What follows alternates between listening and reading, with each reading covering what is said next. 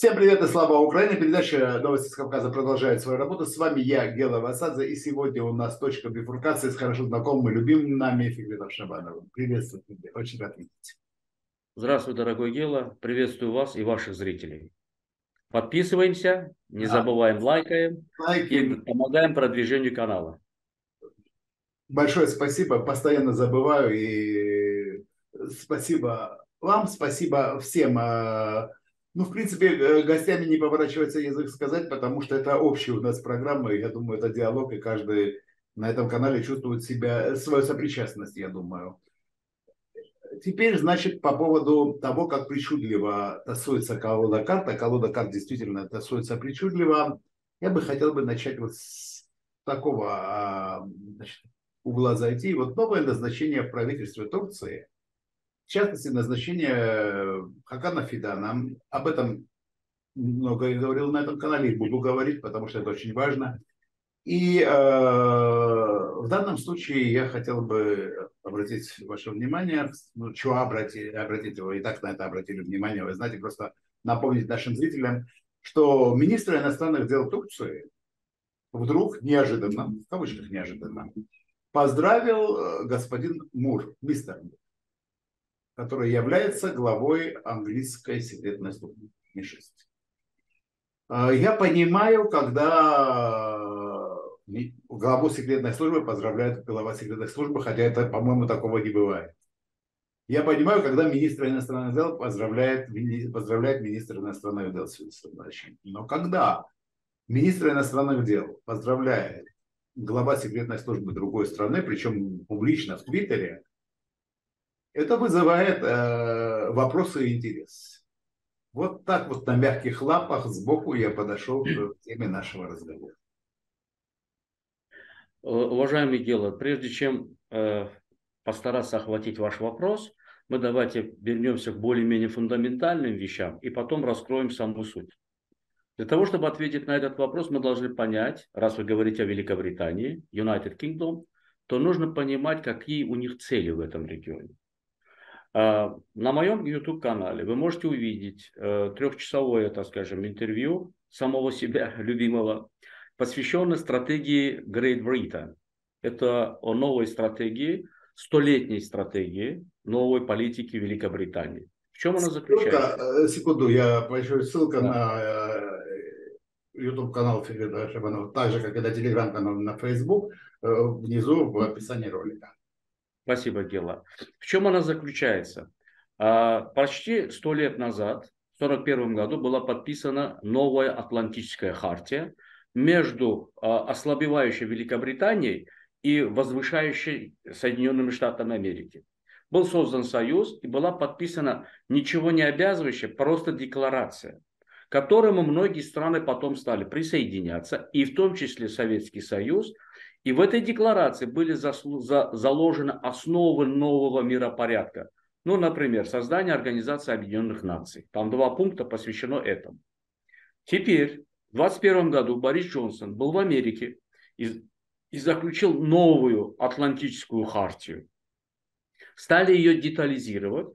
Буквально почти 7 дней назад была подписана Атлантическая декларация во время визита Риши Сунака. Что это означает? Это создает, это означает, для наших кавказских зрителей более-менее будет понятно, это одна нация саксонская, теперь пять государств. Они собираются в один кулак. В доктрине Великобритании вот э, в этом году заявлено, с прошлого года объявлено, до 30 -го года главные ее интересы при Черноморье, Черное море и Кавказ. Это чтобы мы знали. То есть теперь мы должны понимать, когда доктрина внешней политики Великобритании при Черноморье – это Турция, если Кавказ – это опять Турция. Поэтому, исходя из этой доктрины, а э, так скажем, более разносторонние все объяснения у меня в разных интервью на разных каналах тоже есть YouTube-канале. Я не хочу тратить на это время и снова повторять. То есть доктрина возвращения саксонского мира на восток через Кавказ вплоть до Индокитая. Теперь, когда вы говорите о персоналиях, если вы помните, э, за два или три дня до э, изменения в кабинете министров мы с вами говорили о Сойлу, Мы с вами говорили о Мехмед Шимшеке. И вы видите, что мои прогнозы оказались верными. Ушел Сойлу и пришел Шимшек. А в чем заключается главная функция? Э, я повторюсь, Мехмед Шимшек – это человек, в принципе, в состоянии позвонить напрямую в Белый дом. Я уже не говорю о международных, мировых, в кавычках говорю, но англосаксонских финансовых корпораций или групп. Вы видели, что недавно была назначена новая дама директором Центрального банка. Она, счит, она вошла в, в первую сто самых деловых людей США и в первую десятку сильных женщин мира. Вы должны понимать, кого привели в Центральный банк. Теперь, когда мы будем говорить о политике Хакан Фидана и MI6, я вам скажу другую вещь. Она может быть показаться многим странным, может быть показаться не, непонятным, а для некоторых она может быть немножко, а, ну она может быть у них вызвать агрессию. Объясню почему. Дело в том, что Турцию а, выбрали в качестве партнера, где будут закрывать и американцы, и Великобритания глаза на то, что она будет притворять свой план. Что это означает? Например, визит президента Турции на Кипр, где было заявлено, что нужно принимать, признавать независимость турецкую часть Северного Кипра. Это означает, будет нарастать напряжение в этом регионе и по кипрскому вопросу, и по греческому вопросу. Вчерашнее заявление в Баку о том, что мы будем продолжать усиливать кооперацию и первое, сила наша – это в силе кулака. То есть делается упор, так как мир разрушается, делается упор на защиту своих интересов через, э, значит, право сильного, а не через сильное международное право, которое, к сожалению, не работает. И здесь у нас появляется интересная конструкция. Ушли из правительства те люди, которые были антиамериканистами, но они не враги Эрдогана. Это команда. Пришли люди к власти, которые или раньше работали у Эрдогана, были напрямую связаны с White House, или люди, которые уже достигли определенных, а, так скажем, успехов как в бизнесе, так и в политике. То есть они обрели связями, они стали частью саксонского мира и стали получать назначение в Турции. Это второй фактор. Третий фактор самый интересный. То, что я про агрессию говорил. Дело в том, что Мехмед Шимшек по национальности курд. Назначенная мадемуазель над директором Центрального банка, она этническая курдянка. Вице-президент Турции новый курд. Хакан Фидан был главным, секретным и единственным переговорщиком Эрдогана по переговорам в Осло между э, Эрдоганом и курдскими организациями. И здесь создавал им условия переговоров, сажать за стол, решать многие проблемные вопросы всегда делал кто? MI6, то есть господин Ричард Муш. Поэтому его поздравление как главы секретной организации новому министру иностранных дел Турции – это знаковое событие о том, что взаимодействие или взаимный, может быть, промежуточный союз, он будет не только укрепляться, но и будет даже расширяться. Поздравлением Ричарда Мура, господина Хакана Фидана, был месседж всем региональным и в том числе мировым. Он означал, это наш партнер. Это человек, с которым мы будем решать многие вопросы. Почему с ним?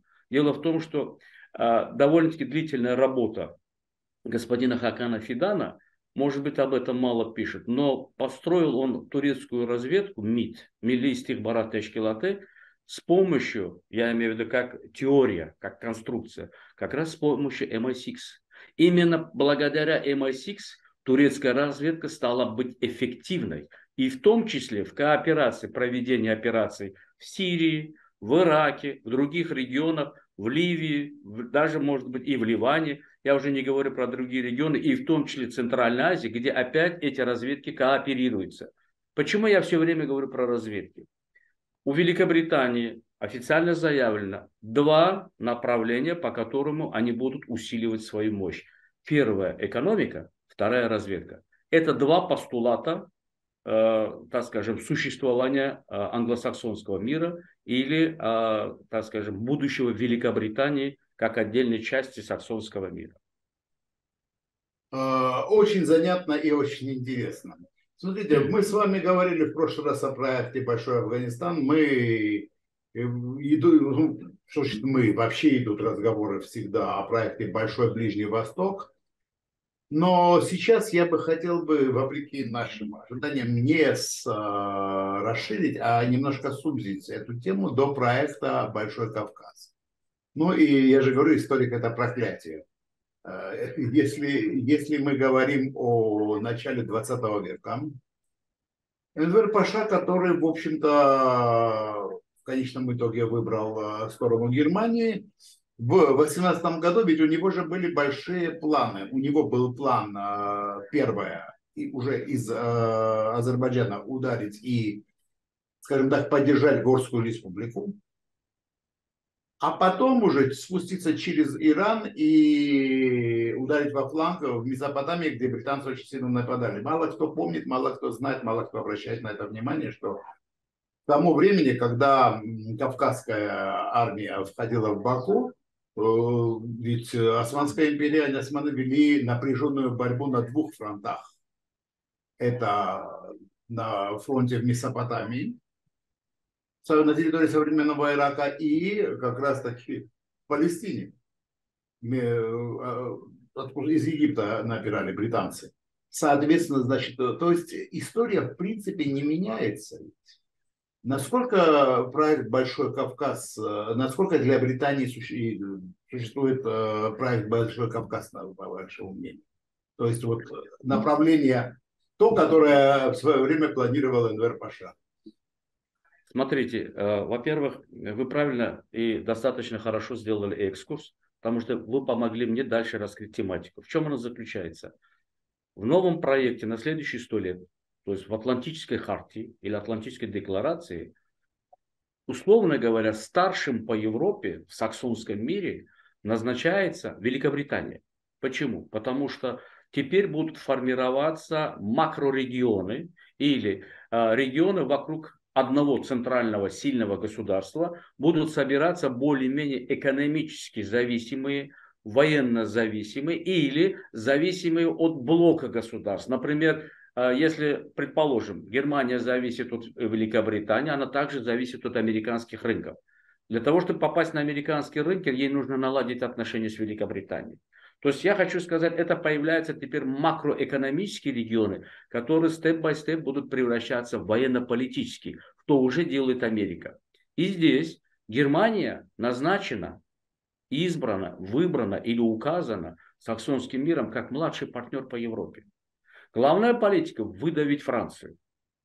Главная политика э, просто фактически нивелировать Францию. Я даже скажу так, иногда среди парламентариев э, в, значит, в Великобритании э, появляются призывы, пусть Корсика будет независимая, французы вернут нам Британь, и таких разговоров потихоньку становится, этот гул становится усиливаться.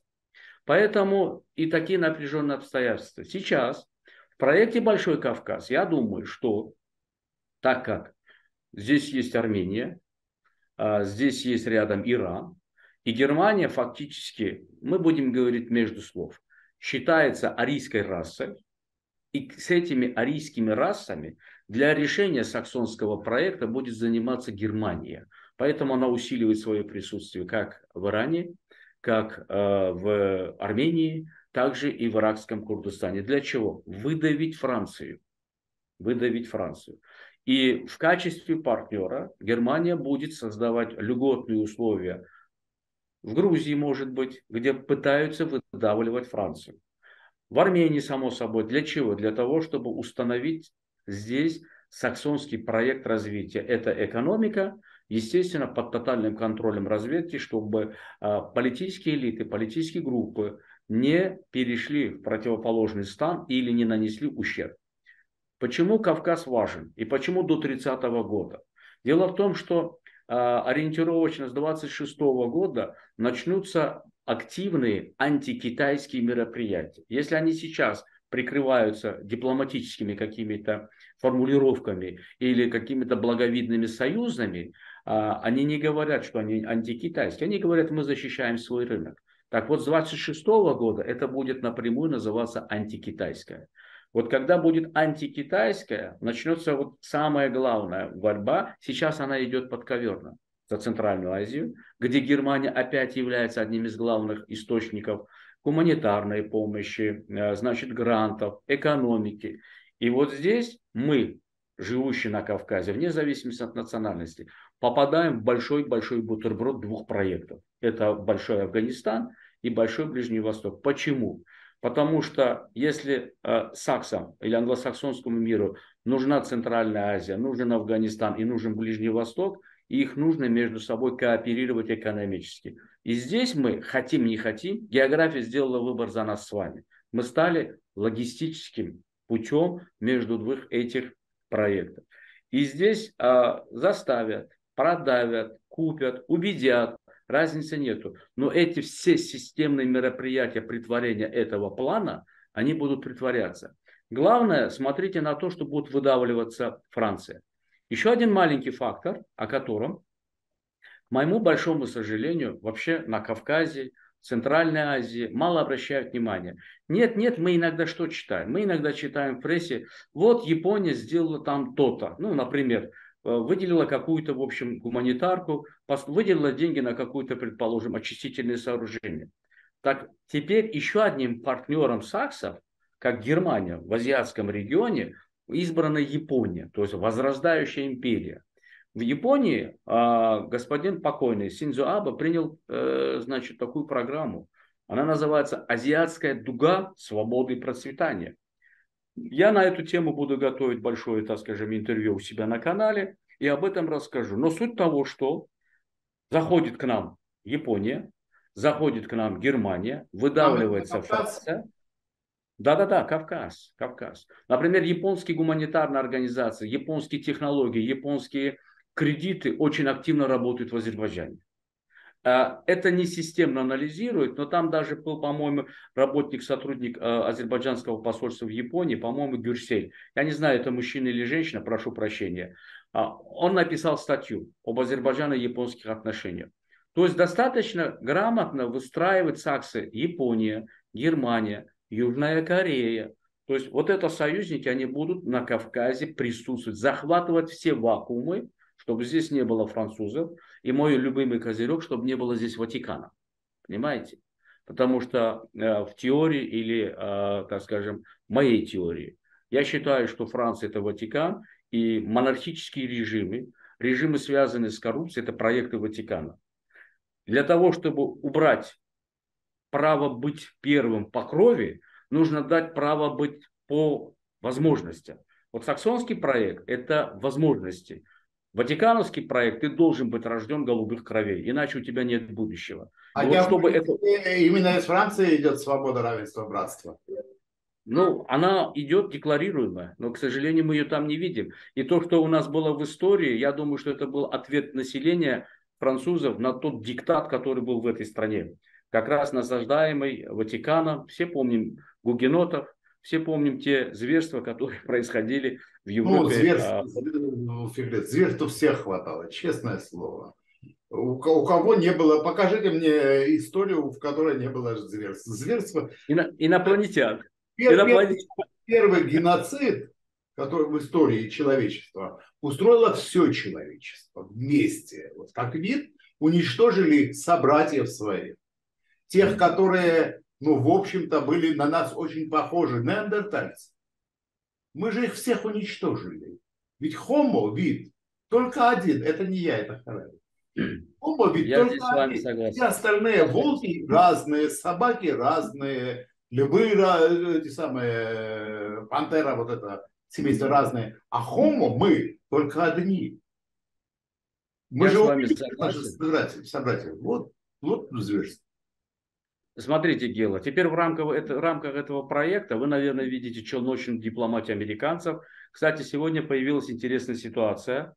Она появилась в Узбекистане, когда посол США а, выразил несогласие, ну, заявление сделал, потому что заявил обучавшийся на Западе министр цифровых технологий Узбекистана Шерзот Шерматов, который заявил, что в Узбекистане очень хорошо работает китайская модель.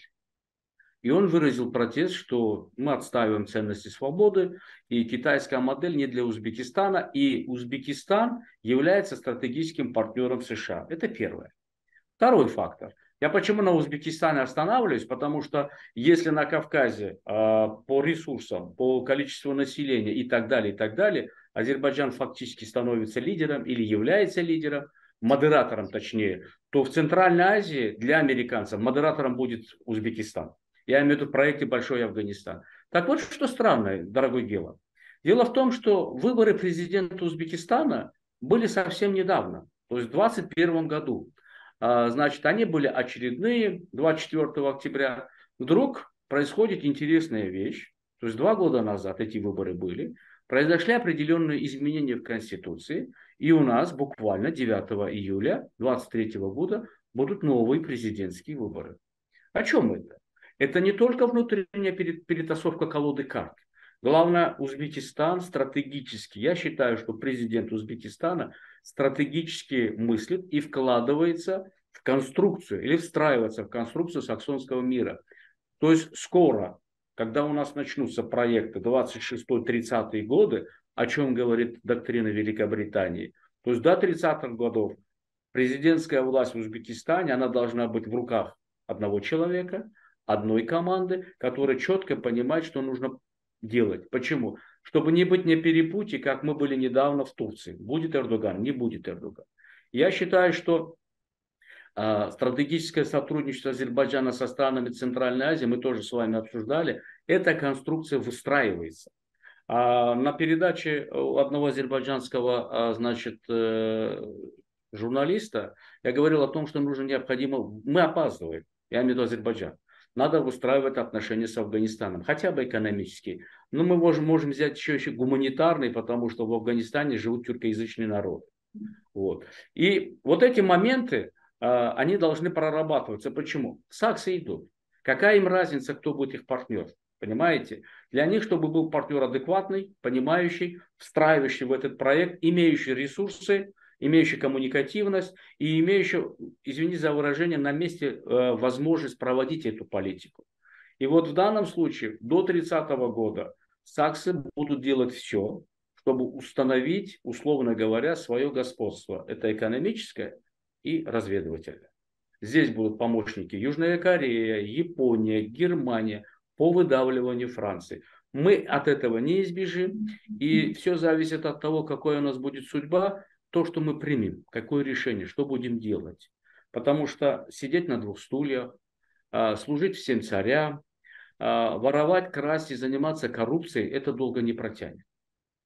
Если мы будем это терпеть, я имею в виду сакс, логика саксов, если мы будем это терпеть, то это до той поры, пока не решатся наши стратегические вопросы. Как стратегически мы достигнем целей, вот это все пенку коррупционную, а, в их понимании, неконструктивную будем снимать. В начале 2000-х годов, будучи в Нью-Йорке, а, ну так получилось, что я встретился с э, покойным Маккейном. Он мне сказал, я, я задавал очень много вопросов по Центральной Азии, это моя специальность, и по Ближнему Востоку. Я вот спрашивал, ну вот э, Ирак, вот эта ситуация. Он всегда говорил так, запомни, я могу это не увидеть. Это может быть и через 30 лет, это через 50. Но свое право контролировать эти территории ресурсы, водные ресурсы, мы будем добиваться всеми путями. Методом тыканий, методом войн, методом сталкивания, гражданские войны. Разницы нет. Даже если все думают, что это хаос, нужно понимать одно. Теория управляемого хаоса. Мы, то есть американцы, никто лучше этого не знает. Это раз. Плюс у нас есть мозги Великобритании. Это для меня тогда было открытие. Я спросил, а при чем тут мозги Великобритании? У них, говорит, в генах крови имперскость. Они знают, как разговаривать с этими народами. Они это умеют делать. Мы у них учимся, как вот э, ну, их головному мозгу. У них получаем знания. А мы для них выполняем самую тяжелую работу. Это армия, это деньги, это международная дипломатия, давление, эмбарго и так далее. Я хотел об этом. Я Не понял. Не-не-не-не-не, продолжайте. Я, я просто сказал, да. Я, я впервые с этой, вот, с этим поворотом ситуации, для меня открытие, а, был приблизительно, так скажем, а, ну, он меня ввел вот в это понимание в 2003 году. Для меня это был немножко шок, но я немножко стал этим изуч- заниматься, изучать. Я, в принципе, я понимаю, что он не только мало договорил, хотя он был генерал, а, по-моему, не генерал, ну, военный был. Он был в плену во Вьетнаме. Военный летчик. Да, летчиком. И немножко он про Вьетнам рассказывал и так далее. То есть я хочу сказать, даже будучи военным, стратегически он мыслил и немного мне дал нити, как вообще мир управляется, то есть между Америкой и Великобританией. Вот, э, знаете, я хотел к этой теме подойти позже. Я хотел к этой теме подойти позже. Но сейчас вот, э, раз уж есть такое выражение в Грузии, слово принесло. То есть, ну, как, как бы э, тема, вы тему подняли, поэтому я продолжу на этом, потом уже другие темы обсудим. У меня, я далек очень от, скажем так, я никогда не был в Соединенных Штатах. Начнем с этого я очень далек от понимания их э, внутриполитической кухни, хотя я много об этом читал, за этим слежу и так далее. Но у меня складывается впечатление, что Соединенные Штаты уже давно это, это Кирим, где есть все. И когда мы говорим о США, просто-напросто о США как о одной стране говорить э, ну, не совсем правильно, потому что есть различные политические группы, которые борются абсолютно, э, за абсолютно разные курсы и так далее и тому подобное. Хотя, если сейчас взять вот чисто по внешним раскладам, сейчас более проевропейская группа. То, что вы называете Ватиканом, Францией и так далее. То есть более проевропейская группа в США у власти, нежели э, ну, допустим, Трамп был вообще антисистемен, но так или иначе республиканцы, они более то, что называется англосаксонские. Не знаю, может быть, я не прав, я просто для затравки, э, я, я в данном случае спрашиваю, а не утверждаю. Э, вы, в принципе, правильно, логически выкладываете все, что есть в, так скажем, открытом доступе и в том, что заявляет об этом правительство США. Но там даже есть, э, так скажем, э, такая стратегия, кстати, я о нем тоже сказал на своем канале. В этой стратегии ключевой одной из стран, которая интересна или необходимо важно как союзник для американцев и для саксонского мира, это Европа. Но это просто тезис. Самая главная функция заключается в том, чтобы поставить под свой контроль Европу.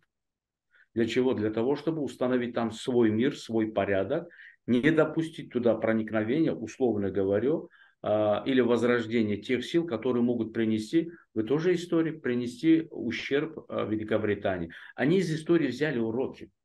Они для себя уроки, так скажем, вынесли, почему эта империя стала скукоживаться до какого-то островного государства, понимаете?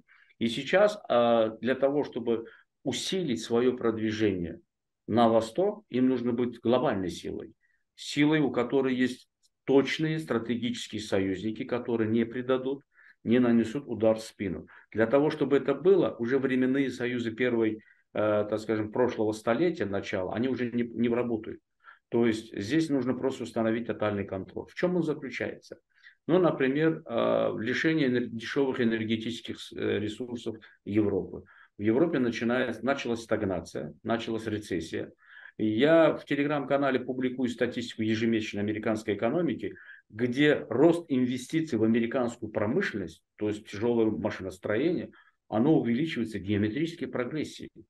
Мы ставим таблицу Европы, там идет скукоживание. То есть фактически начался вывоз промышленных технологий, предприятий, финансов и вкладывание их в американскую экономику. Это первое. То есть началось уничтожение или опустошение европейской экономики. Второе. Если вы что-то производите, но вам нужно это куда-то продавать, ну, например, Германия, она экспортоориентированная страна. Если она на экспорт ничего не продает, фактически она, я думаю, что будет бедная. И здесь самый ликвидный, самый платежеспособный рынок какой? Это Япония, Южная Корея, ну и, конечно, сама США. А это страны-сателлиты. Плюс Австралия, Новая Зеландия. Нет, но того, еще есть огромный рынок ЕС сам по себе. Огромный рынок есть. Теперь сейчас начались проблемы с платежеспособностью раз, с повышением себестоимости продукции два, потому что энергетика стала дорогая. Это второе. Третье. ввиду уменьшения больших поступлений значит, э, в экономику, то стала что? Появляться дотационная часть, ну, например, как зимой, по тому, чтобы отапливать дома, получать энергетику. Но это может протянуться еще один год в такой форме. Дальше начнется уже, так скажем, инфляция. Она уже, в принципе, в Европе есть, об этом не пишут. Потому что у меня много моих друзей, которые живут в Европе, они фиксируют уровень роста на продукты питания. Так называемая скрытая инфляция. В чем, я о чем говорю? Э, в мире, вот я хочу сказать одну вещь, э, дорогой Гела, э, это для меня аксиома. Любая политика, геополитика, любые интересы, в первую очередь, это бизнес. То есть, если ты не зарабатываешь, там тебе делать нечего. А если кто-то богатый, и он может быть тебе конкурентом, то лучше его проглотить.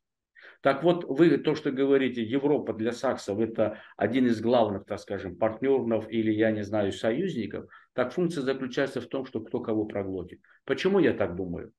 В 1941 году, когда, Германия, э, когда Великобритания уходила со своих территорий, там есть небольшие тезисы, которые я озвучивал. Это разговор между руководителем США и руководителем Великобритании. Так ему сказали, что Германия скукоживается мы спасем Германию, чтобы она вообще не исчезла. Мы ей поможем. То есть ты у нас будешь теперь пассивной, активной будем мы. Таким образом, они ее спасли, Великобританию. Иначе бы Великобритания могла бы распасться на разные страны.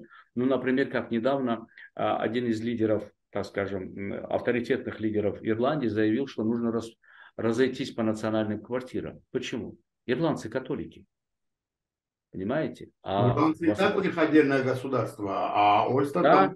там протестант. Ну, Соединенное Королевство и так далее. Вот определенные экономические, определенные юридические все-таки соглашения. Кстати, Европа продолжает активно сотрудничать с Великобританией по значит, экономическим соглашениям после Брекзита. То есть они до сих пор составляют, э, так скажем, межгосударственные договора, то есть Великобритания и Европейский Союз, и отдельные государства для того, чтобы вести торговлю. Вопрос опять в чем упирается?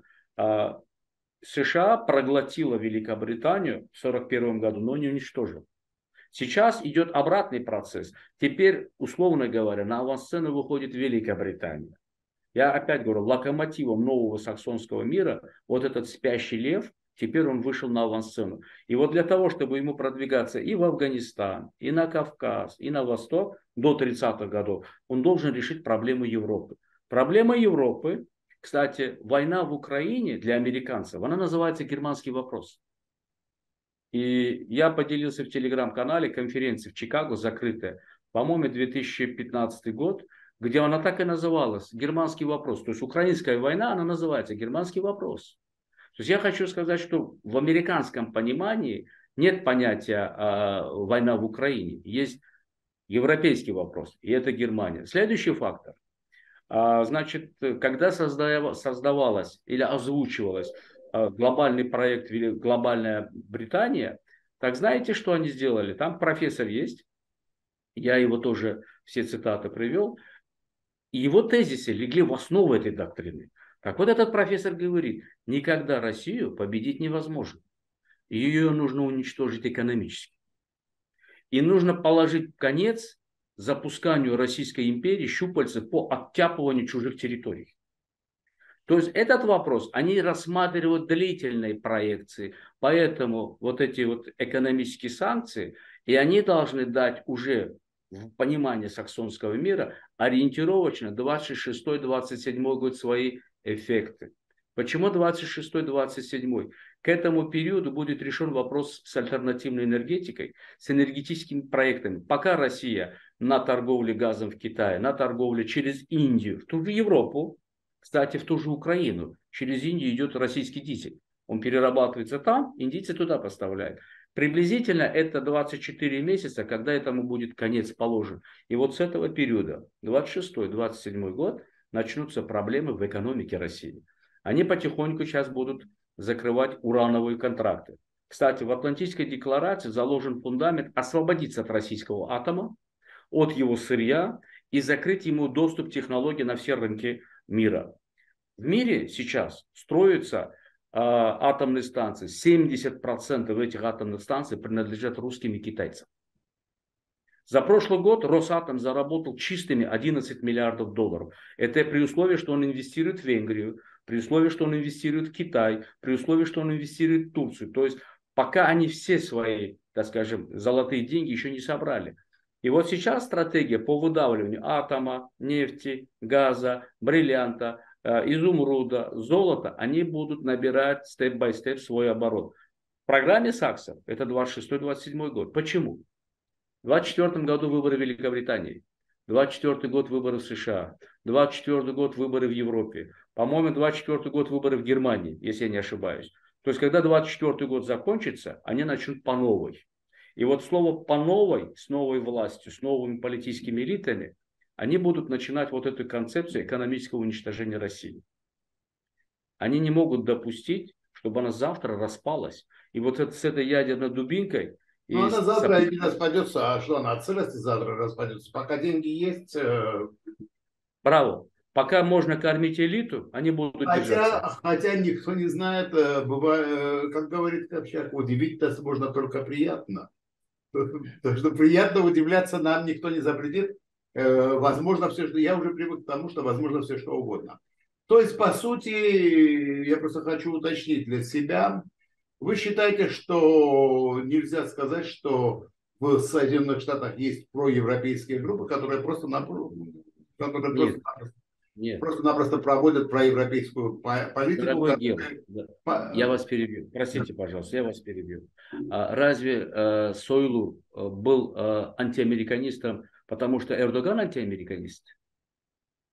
Нет. Вся, вся, вся любая политическая власть или политическая стратегия, она определяется на прагматизме. То есть, если сегодня нужно, чтобы от моего имени говорили антизападники, они будут говорить.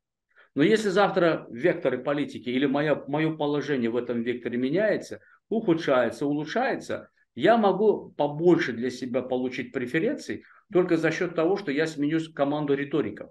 Сегодня нужно сменить эту команду антиамериканистов на команду кого? Тех людей, которые в принципе условно говорят, что надо работать с Западом, спасать экономику. Э, еще один момент. Э, франко-германский э, союз, который, в общем-то, так или иначе существует и существовал. Ведь что предлагает Париж-Берлин? Берлин – это самая мощная экономическая сила в Европе. И какая там она третья или четвертая экономика в мире? Это Берлин. США, Китай, потом я уже не помню, Германия или Япония, а потом то, то ли Япония, то ли Германия там. Так вот, а, я про что говорю? Я про то говорю, что ну, это достаточно серьезное предложение, учитывая, что они оба в Европейском Союзе, что их объединяет э, общество интересов. Париж предлагает стратегическую автономию от Вашингтона, политическую. Э, свой проект и так далее. Почему вдруг Берлин э, будет работать с Вашингтоном и Лондоном, а не с Парижем? Ну, разрешите отвечу? Да, я... Опять, опять деньги. У Парижа и Берлина были проблемы с газопроводной трубой. Они ее с трудом решили. Кто будет обеспечивать экономику Берлина, как вы говорите, дешевой электроэнергией? Газ они заключают в длинную, то есть на 10 лет. Э, значит, СПГ заключили с американскими компаниями. Это, это первое. Второе. Сейчас Германия закрыла все атомные промышленности и перешла на зеленую энергетику. Она могла этого не делать. А почему? Да, не зря. Да. Вот поэтому я хочу сказать, это мы с вами так думаем. Но если даже в крайнем случае, гипотетически допуская, что в 2024 году выборы пришли люди, которые говорят, у нас будет крепкий франко Э, союз, и мы выступаем как третья сила со своими интересами, что пытается сделать сейчас Макрон, мы должны понять одну вещь. В тот же момент начнутся отдаваться голоса, что Бавария отделяется от Германии. Это я вам как бить даю. Бавария будет отделяться от Германии. Почему? Богатая Бавария не может кормить бедную вот эту Германию. Это раз. Во-вторых, сейчас на промежуточных выборах в разных землях я иногда публикую эти таблицы. Альтернатива для Германии стала второй партией. Это я условно могу сказать, да простят меня, я ее расцениваю как продолжатель идеи Гитлера. И эта партия сейчас вторая в Германии. Кто вам гарантирует того, что ну, через полгода она не будет первая? Благо сейчас, кстати, сейчас строится, знаете, какой мир? Э, мир э, информационно, э, как это называется, IT-технологии. То есть мы будем смотреть на мир, нами будут управлять через информацию и через компьютер, скажу по-простому. Ну, и это вот... замечательно сказал Пелевин в СНАФе. Любая реальность является суммой информационных технологий. Да, да, да, да. Вот приблизительно так. Вот, например, завтра, э, я помню, у вас как-то была такая ситуация, рассказали о какой-то нехорошей ситуации в Иране между азербайджанцами и курдами. Я даже вам написал. На следующий день это все пропало. Почему? Это информационная была операция. И у вас выступала Алига Джизаде на эту тему. Да, да, да. То есть я хочу сказать, что, дорогой Гела, создать ситуацию, когда два брата враги, сейчас информационно достаточно. Вот иногда в комментариях мне пишут в личку, что ты там не так сказал. У людей нет, во-первых, образования, во-вторых, нет терпения послушать, и в-третьих, если я не прав, напишите статью, выступите в Ютубе с альтернативной точки зрения. Вопрос стоит в этом. Мы же этого не хотим. То есть следующая часть, то, что создается через информацию, они уничтожают наши фундаментальные знания для управления. Поэтому в союз Франции и Германии я абсолютно не верю. А, Франция сейчас очень сильно зависит от атома, от Казахстана и Узбекистана, потому что сырье для атомных станций она больше нигде не может получать. И если не будет атомных станций, Франция встанет.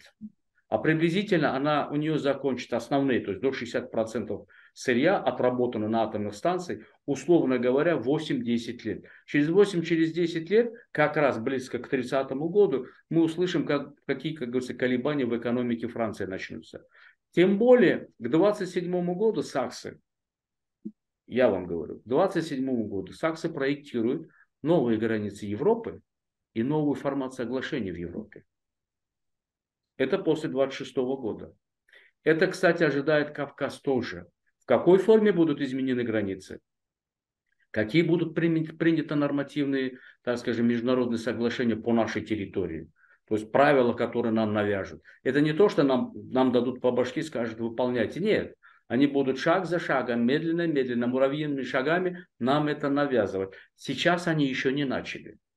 То, что мы сейчас видим, это конструкция. Но практическая работа по Кавказу у них еще не началась. Так у нас не менять надо границы, у нас надо их стирать. Это разные вещи. Это тоже, это тоже, тоже менять границы, то их убрать. Ну да, потому что, ну, реально скажу так, что если мы даже сравним с нашими соседями по Ближнему Востоку у себя, это очень, очень небольшое государство. Очень небольшое государство. И территория очень небольшая, в общем-то. Вот этот перешейк от Черного до Каспийского моря, она, очень небольшое. Поэтому быть единой там таможенной зоной и единой транспортной зоной, ну сам Бог. Правильно, правильно, правильно. Их мысль в этом и заключается. Унифицирование таможни, э, транспортных вот этих э, там порты, железная дорога, аэропорты и так далее. То есть фактически создать единое экономическое пространство. Я снова повторюсь, сила Великобритании в ее свободных торговых отношениях и разведке. Я просто всегда исхожу из того, что вот как жить, как будут жить э, люди вот здесь, на Кавказе, в Грузии, в Азербайджане, в Армении, это зависит от наших э, национальных правительств и зависит от самих людей. А если говорить о внешних игроках, их больше интересует инфраструктура, их больше интересует стабильность, их больше интересует вот это унифицирование, чтобы границы были стерты, чтобы все быстро проходило. Вот. Э, а как мы будем жить, это уже нам решать и нам строить. Ну, я думаю, что слово «нам решать», оно немножко получится неправильно. Почему? Мы не можем сидеть и закрыть там дверь и сказать, вот моя граница, не лезь ко мне, я не хочу по твоим правилам. Так не будет. Нам решать, я про другое сказал, нам решать, да. я говорю, как нам жить, э, насколько хорошо мы будем жить. Будет свободный рынок, это мое мнение. Будем хорошо жить. Не будет свободного рынка, будет зарегулировано со стороны государства. Будем жить плохо. Я, я, я думаю, что дело э, понимания к этому, к сожалению, э, во многих регионах Кавказа, э, я не только говорю Грузии, Азербайджане, Армении, и в том числе о том, что с чем мы соседничаем, и вы, и мы, я имею в виду и с Кавказами, с народами Кавказа, в разной степени, по разному уровню развития, даже если исходить из того, что все-таки вот три республики за Кавказе, они фактически более-менее независимы, то есть самостоятельные. Они могут определять свое развитие и так далее. Даже в этом плане я считаю, что э, понимание находится на уровне разница э, Армения, Азербайджан, Грузия между 20 и 40 процентов. Мы даже не достигли 50 процентов. К сожалению, к сожалению, вынужден с вами да. согласиться. Да, мы не достигли того уровня понимания, что к нам идет цунами. Он не будет спрашивать, как вы себя ведете. Он спрашивает, ребята, я у вас ничего не хочу. Дайте мне дорогу, я за это буду платить. Не, не воруйте мои вагоны, то есть не грабьте, установите у себя прозрачные законы. И напишите правила, по которым я с вами буду говорить. Больше ничего не хочу. Но если вы говорите, нет, я буду воровать твои вагоны, которые ты отсюда гонишь, я тебе дорогу не буду давать. Разницы нету, это Зангизур или Поти, или я не знаю, Алят. Разницы нету. То есть, если ты все этого не делаешь, тогда вопрос, ребята, мне кажется, что вы мне не нужны. А когда вы мне не нужны, то вы мне мешаете. Мне нужно с вами разбираться. Плюс ко всему этому, это не означает, что э, корова э, Великобритания будет нас поить своим молоком. Нет. Это означает, вы должны сами встраиваться и вкладываться в это, создавать инфраструктуру, создавать экономически прозрачные отношения, создавать, ну, например, в Лондоне, вот период ковида, были большие проблемы с продуктами питания. Я даже там, ну, побывал, помидор невозможно было найти. Так все откуда шло? С Турции. То есть вопрос стоит о том, что аграрные земли есть хорошие земли в Грузии, в Азербайджане, немножко в Армении поменьше. Но мы же в состоянии обеспечить Европу, которая потихоньку заменяет, ну, условно говорю, заменяет Европу. Почему будет заменять? Вы представьте себе, в Польше, во Франции, в Европе сейчас страшная засуха. Перестали, э, вот я не помню, в какой-то европейской стране, они создали предприятие, то есть перерабатывали морскую воду хотя бы для того, чтобы поливать земли. И вот с 2017 года этот завод не работал. Его опять запустили. Почему? Большая глобальная проблема воды. Я в одном интервью говорил, что началась в Тихом океане такая, э, так скажем, знаете, климатическая... В прошлой передаче мы с вами об этом говорили. Да, Эль-Ниньо. Эль-Ниньо. Оно начинается, оно уже началось. И турки об этом говорят. И вот эта засуха, она и Кавказ обойдет, поверьте. Ни вас, ни нас она не обойдет. Как бы мы себя не ублаждали, что у нас горы, у нас снег, у нас вода. Но нужно подумать о том, что, ну, предположим, у Грузии, у Азербайджана, у Армении есть вода на 30 лет, а ее не будет в Иране. Что они будут делать? Они или к нам придут, просто как беженцы, или с оружием придут. То есть вопрос стоит же не только, чтобы Грузия, Азербайджан, Армения было хорошо. Вопрос нужно поставить о том, что мы можем создавать пояс экономического благоприятствования и вокруг себя. В этом заключается саксонский мир. Это крепкая, крепкая, так скажем, крепкий альянс экономических локаций. Сила империи, самодостаточности или взаимодополняемости друг друга только с той, с той точки зрения добиться стабильности. Ведь без стабильности не будет никакой экономики. Никогда не будет мира. Главный акцент в этом. Если я хочу с грузином Гелой договориться, я принимаю его аргумент и говорю свои проблемы. И уже вместе решаем, как их решить. Почему? Потому что когда придет цунами, не будет, не дай бог, ни Гела, ни Фикрета. Да. Логика простая, если мы хотим понимать, что нам нужно жить на этой земле. Но если мы иждивенцы, и эта земля для нас не родина, ну, билет, чемодан, вокзал. Да, мир большой. Огромное вам спасибо, Лилит. Огромное вам спасибо за очень интересную беседу. Мы, конечно же, продолжим наши разговоры о геополитике, о проектности геополитики. И я уже какую передачу подряд повторяю, есть хорошая грузинская поговорка. Для хорошо сказанного нужен хорошо слушающий.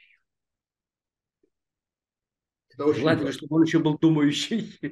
Да, ну, по крайней мере, чтобы умел слушать, поэтому, конечно же, комментируйте, конечно же, проявляйте активность, но большая просьба, если вы что-нибудь не поняли, лучше еще раз переслушайте, а потом напишите комментарий, чем писать что-то нерелевантное. Еще раз большое спасибо, Фиглет. Спасибо, Гела. Я, если позвольте одну ремарочку, если люди научатся думать о том, что через развитие, через сотрудничество, через знания мы можем достичь мира, а не через агрессию, оскорбление и унижение. Потому что любой, кто вещает, это он вещает голосом своей семьи, своего государства и своего народа. И это не дает возможность ни грузинам, ни азербайджанцам, ни армянам найти мир на этой земле. И в том числе хотя бы в локации Кавказ. Еще раз большое спасибо. Большое спасибо, спасибо, дорогие друзья, что были сегодня с нами. Всего доброго и до новых встреч.